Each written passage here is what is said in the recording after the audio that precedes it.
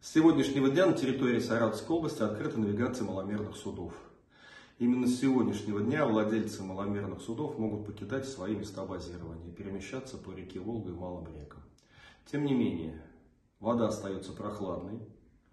Обратите внимание на безопасность. В плавсредстве должно быть количество спасательных жилетов по количеству мест. По э, владельца маломерного судна на руках должны быть действующие документы.